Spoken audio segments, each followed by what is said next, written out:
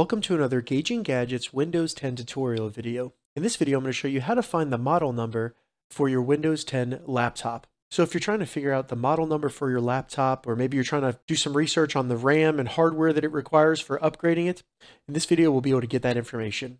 So to get started, the first thing we need to do is simply go down to the Windows Start button down here, select it, and then just type System Information. So it should come up right here. Go ahead and select that. Once you get into the system information under System Summary, you should be able to see a lot of information about your computer, including the manufacturer. So as you can see, I have a Lenovo. We have a model number right here. We also have the system type. So it's going to be 64-bit. You can see that information. And then right here, we have the system SKU. So that's going to be my model number right there. I can look that up and find this exact computer. And then we also have things like your processor, different information like that.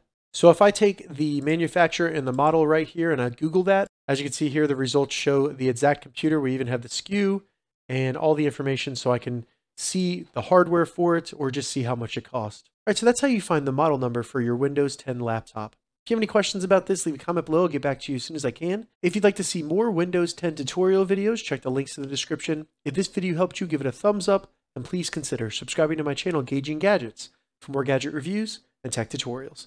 Thank you so much for watching.